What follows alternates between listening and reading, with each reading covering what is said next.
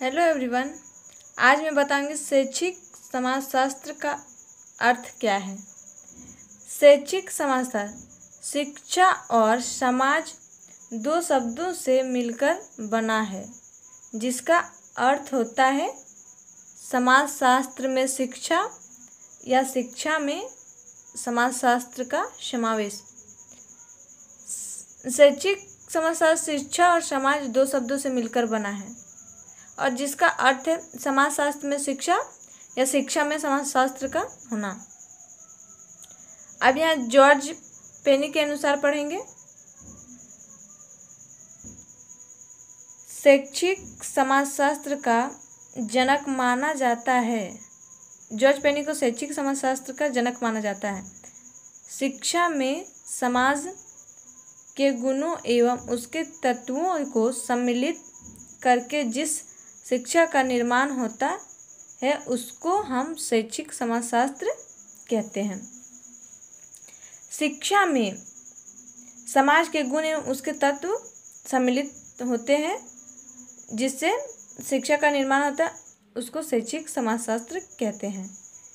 शैक्षिक समाजशास्त्र में उन सभी सिद्धांतों को अपनाया जाता है, जो शिक्षा के सिद्धांतों में अपनाया जाता है। शैक्षिक समाजशास्त्र में उन सभी सिद्धांतों को अपनाया जाता है, जो शिक्षा के सिद्धांतों शिक्षा का समाज के साथ संबंध सदियों से चला आ रहा है। बहुत दिनों से चला आ रहा है।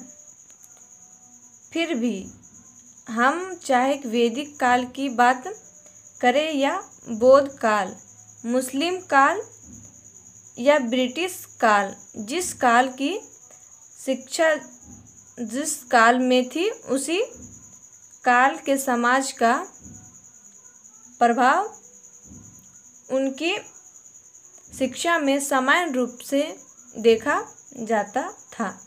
किसी भी काल का हो, उसी का प्रभाव उसमें देखा जाता था। और शिक्षा का अर्थ भी उसी रूप में देखा, वे समझा जाता था। और सबसे महत्वपूर्ण बात शिक्षा का पाठ्यक्रम और शिक्षा के उद्देश्य भी उसी काल के समाज की विचारधारा एवं उस समय की समाज की आवश्यकता के अनुरूप ही निर्धारित होती थी। जैसा कि आप जानते हैं कि किसी समाज की शिक्षा अच्छी और ज्ञानवान होगी तो वो समाज भी सभ्य संस्कारी, शिक्षित एवं उस समाज से मौलिक गुणों का समावेश होगा। जैसा कि हम सब भी जानते हैं कि जहाँ अच्छी शिक्षा और ज्ञानवान होगी तो उस समाज में सभ्य संस्कार, शिक्षित एवं उस समाज के मौलिक गुणों का समावेश होगा। यानी कि अच्छे तरह से उस समाज का होगा।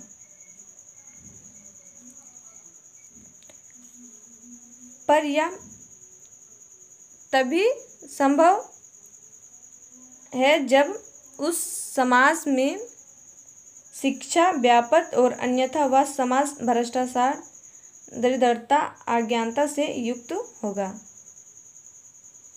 जब शिक्षा अच्छी होगी तब ये सब भ्रष्टाचार, दरिद्रता ज्ञानता से मुक्त होगी।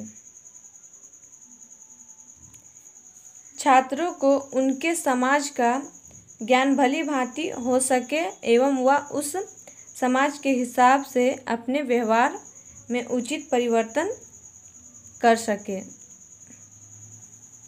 और आप लोग को वीडियो अच्छी लगी तो please like and subscribe my YouTube channel and share ज़रूर